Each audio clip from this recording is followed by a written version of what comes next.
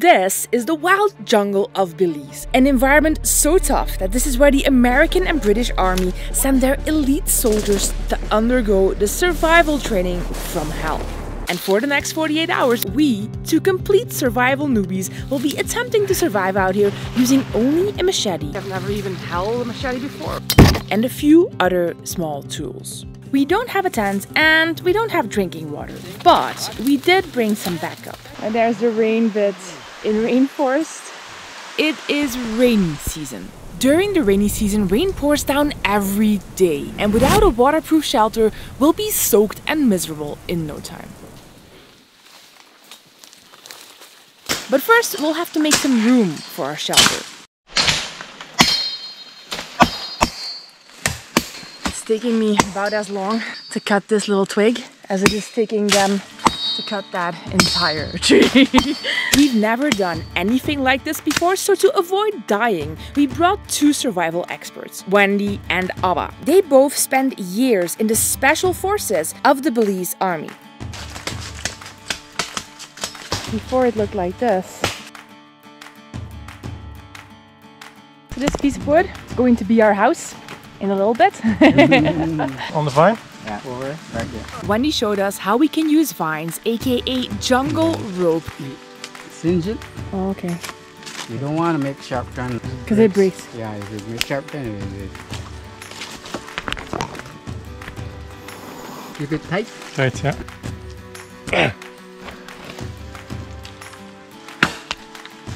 we have a roof! Almost. the reason we're doing this is actually because I've been getting more into fishing and outdoor stuff and I just want to see if I really have what it takes to survive in this kind of crazy environment.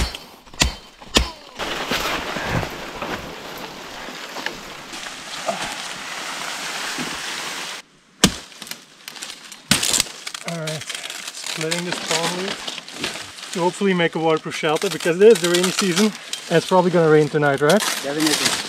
the next couple of hours.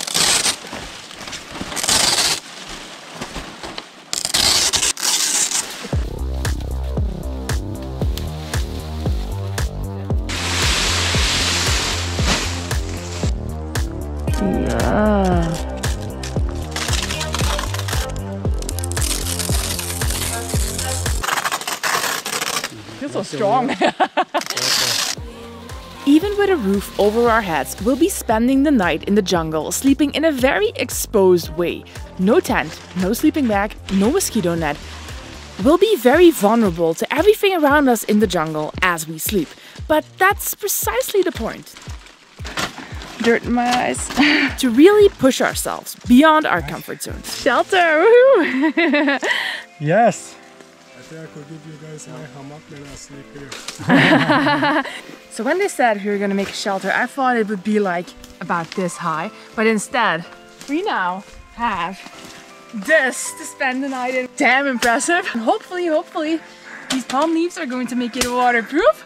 Bam! After hours of hard work, we had marked off the first priority on our survival checklist. But we have been sweating our butts off in the relentless heat and humidity of the jungle without even one sip of water since we entered the jungle. I think reality is now setting in. This is not gonna be a walk in the park. Tired, thirsty, I'm hot and sweaty. While building the shelter, we pushed ourselves to keep going because we were excited to learn new things. Only now did we realize how dehydrated and tired we already were a few hours in. The sun is going to set in a few short hours and we still have lots of things that we need to do before nightfall, so we really need to find water. And out here in the jungle, there are no supermarkets. Whatever you need, you're gonna have to find a way to source it yourself. There was a small river near our camp, but we couldn't drink from it. They said if we drink it, we're probably gonna get sick because our stomachs aren't used to it. First, we need to make our fire because without a fire, we can't boil the water, and boiling is the only way we can get the bacteria out of the water and actually drink it and get some fluids in our body because it's been hours now. I think it's probably been six or seven hours of sweating, working, hiking, chopping, building since I last had a sip of water. So I want it so bad. I don't think I've ever been this thirsty in my life. We were expecting Abba and Wendy to teach us to make friction fire. You know that technique where you rub sticks together until you get a small spark and then you turn that into a flame. So you want the fire starters, what they call it? Yeah, mm-hmm. we, we small stuff first, and then you got big, bigger stuff, and then bigger stuff. To wet. Yeah, it's wet. Everything's wet. Yeah. it's a bit. It's probably easier in the dry season to make fire. Yeah. Let's be realistic. The one with the stick, Yeah. people stop use those. Where, Yeah. where you rub like that. Yeah. Uh, it take you hours. Worse once you don't know how to do it. Even with a lighter, it's very hard. Yeah. Life in the jungle. Because everything was so wet, we had to restart and revive the fire several times. But we kept at it because we really needed a good fire, not only to purify our drinking water, also to cook food and to help protect ourselves against mosquitoes and other animals of the jungle at night.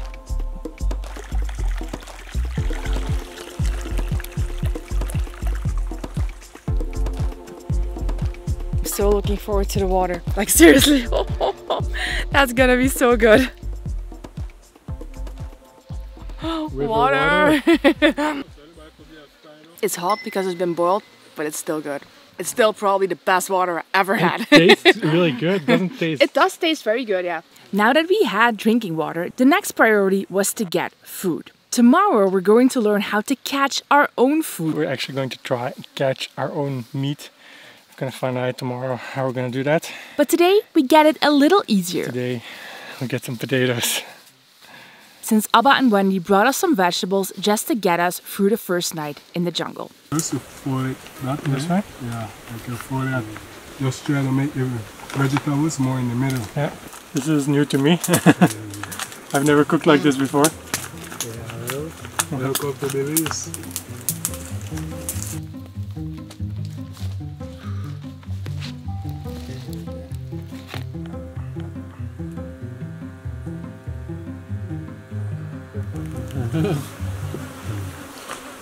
This is the best corn ever. So now we have a shelter, but we can't just sleep on the jungle floor. They said we need to make sure that we are off the ground because there are spiders here, there are scorpions here, they all come out at night. Staying on the ground here is not a good idea. In this jungle, there's poisonous trees that will give you huge blisters. And then there's this plant. If you touch these spikes, the more you move, the deeper the spike penetrates your skin. Getting wood is kind of like Home Depot, just a little bit different.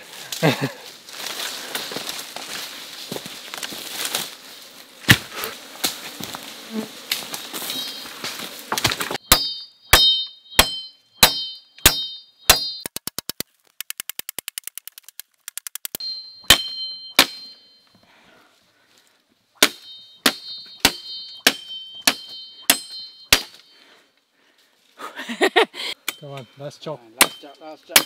Oh, Kim! Well done. Damn! it's kind of cool how you can just learn how to make a bed out of wood and literally vine. I hope it holds us through the night.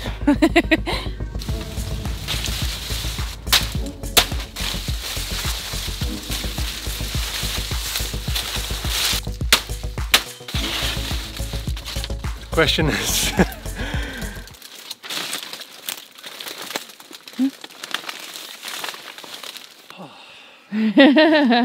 As we were trying to get used to the idea of sleeping oh. out in the open in the jungle at night, the other creatures that we would be sharing our bedroom with started waking up. The noise you're hearing here is howler monkeys, or baboons as they call them in Belize. We saw a few of those in Mexico, but there we didn't exactly have to share our bedroom with them. There's jaguar here too. Yeah, there's that one. And have you seen the jaguar in the jungle? I have up where I was working. Wow. We have eight type of snakes that is poisonous. Here you will find most like pit vipers. Pit vipers are the worst. They're the worst. Yeah, they're like all around Okay. in the jungle, so it does, they camouflage with the jungle. Mm -hmm. Really hard to see them.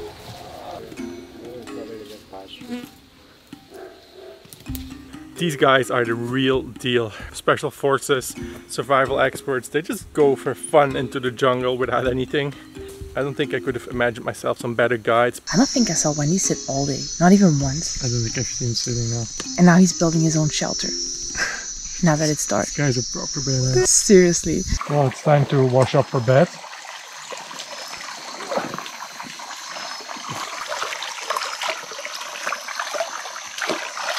Careful for the pit vipers, Nick. Well, that's as clean as I'm gonna be at least. My hands are kind of clean. This is literally the bit that I've been most nervous about. Sleeping in a very, very exposed way. Because you won't have anything separating us from, well, basically everything that lives in the Belize jungle.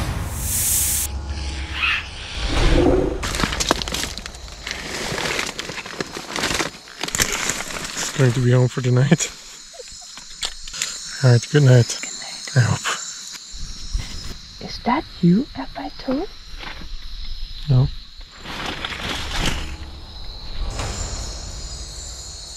Oh, it's a vine. Okay, okay. Okay, okay.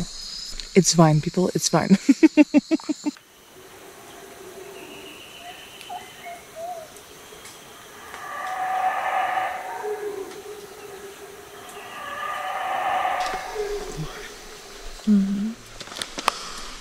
Why did you sleep?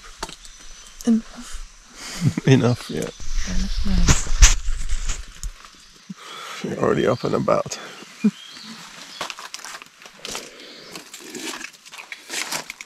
have to shake them. You have to shake them. Don't just put your foot in there. I'm gonna go look for a spot to go to the bathroom. Trying to look out for poisonous plants, but sometimes it's hard to tell. I actually didn't sleep too well last night. There's a slight slant to the bed, so I kept kind of rolling back onto Nate. So it wasn't very comfortable, I would say, but I think I slept a good four or five hours. And then it also started raining. Turns out our shelter is waterproof, so that is an absolute win. I think I found my spot. Now, if you could just give me some privacy. Yeah, yeah, that's it. We had to survive in the jungle for about 27 more hours, but we were running out of food. If we wanted any dinner for tonight, we were going to have to catch it ourselves. Looking for a place to set up traps. We're gonna be building them ourselves to catch some birds or mammals. Hopefully we catch some dinner tonight. Baboons are back. Maybe we can catch one of those. Or baboon catch you.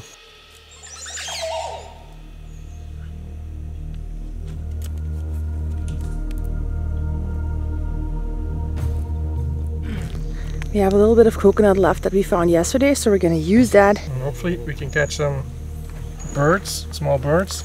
It's the trigger mechanism.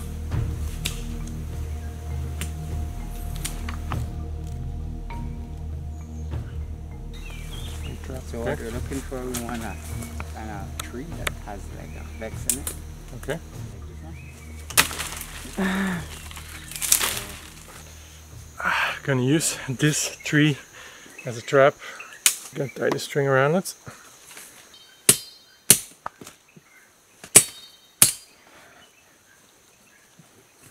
Tie the string to it, trigger mechanism. Pressure of the tree will hold this up.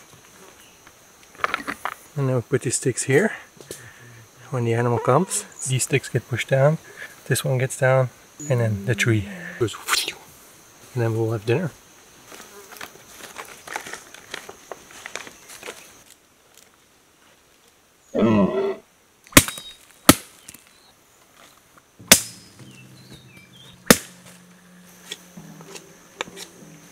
This one is a trap they call the spear. Doesn't that sound dangerous? Because that tree is bent all the way like that. And if you trigger it over here on this line, you made a trap that works. How cool is this? Got some coconut. fish trap that we built ourselves. Took three people about three hours.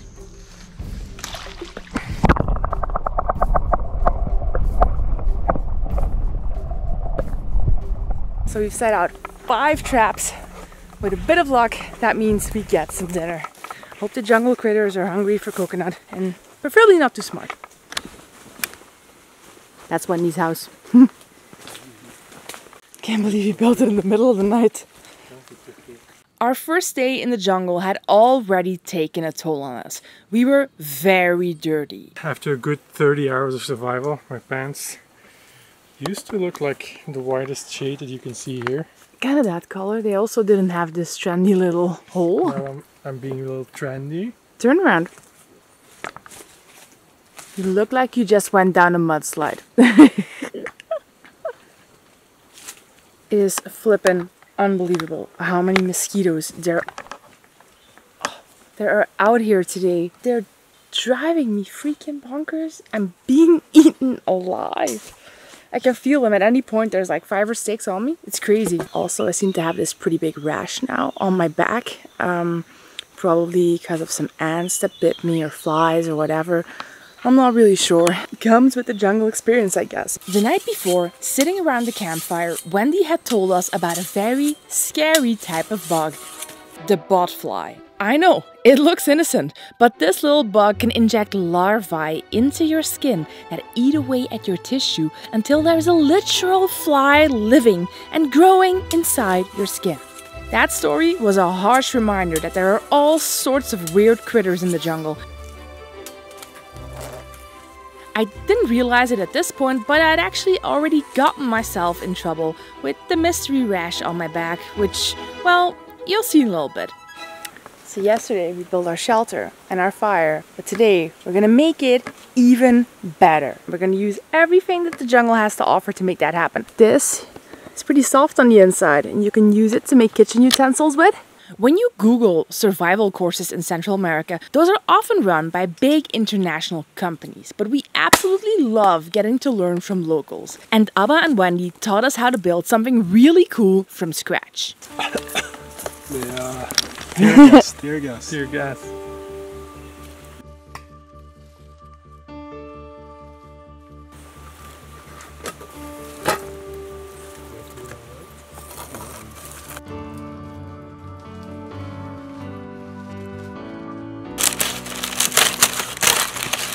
Nice smoker oven built in the jungle with nothing but a machete. Okay, now I'm using a knife. I think this is the coolest thing ever.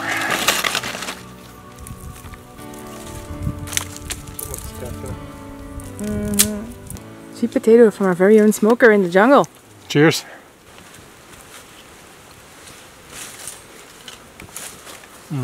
It's very smoky.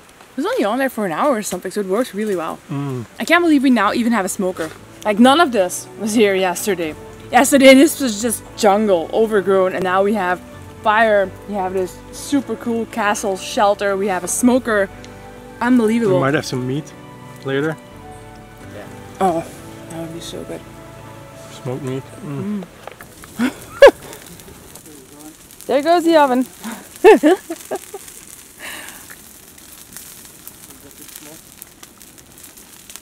A few hours later, we went to check on our traps. Over there. Then the next one is, first one is right here. Over there. See the stick bending? Oh yeah, yeah, yeah. Nothing. nothing. So far.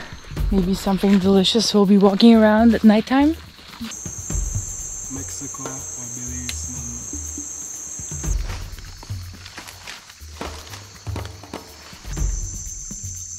Nothing? Nope. Well, you win some, you lose some.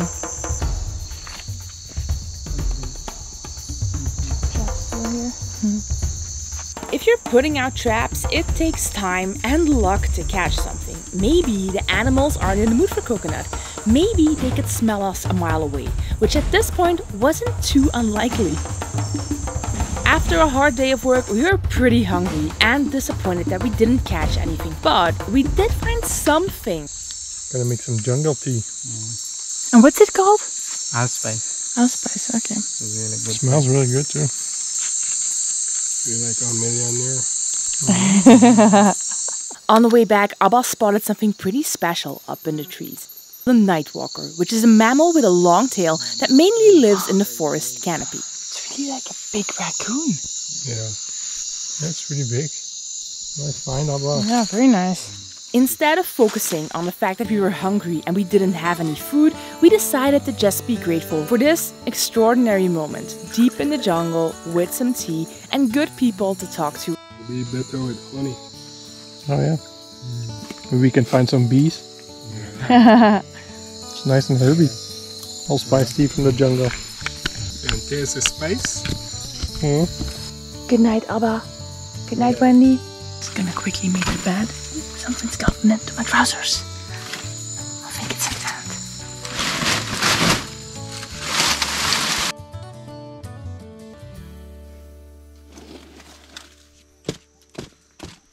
This is probably the point where I should have realized that my face wasn't just dirty, I was actually starting to get some weird swelling underneath my eyes.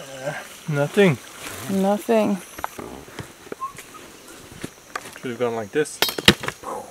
It didn't. It didn't. Spear's also still here.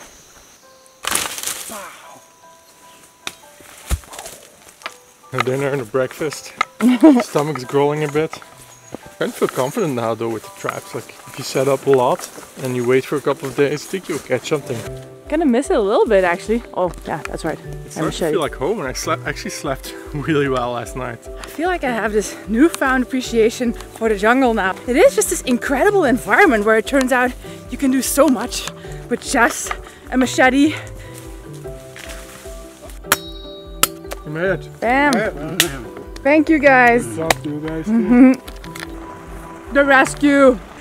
Been to see a car. We thought we were leaving the jungle with new skills and unforgettable memories, but it seems I also left with a little surprise. My face was swelling like a balloon, and I had a weird rash on both my arms. So we went to the ER where they told me that it's probably a skin reaction based on something that I touched or a bug that bit me. When we were in the jungle, they gave me a bunch of meds, and now, a few days later, my face is pretty much back to normal, or as normal as it ever was before. it was a little bit more uncomfortable than we had probably anticipated doing the survival thing in the jungle, But the best things in life are right outside of your comfort zone. Bam! We made it!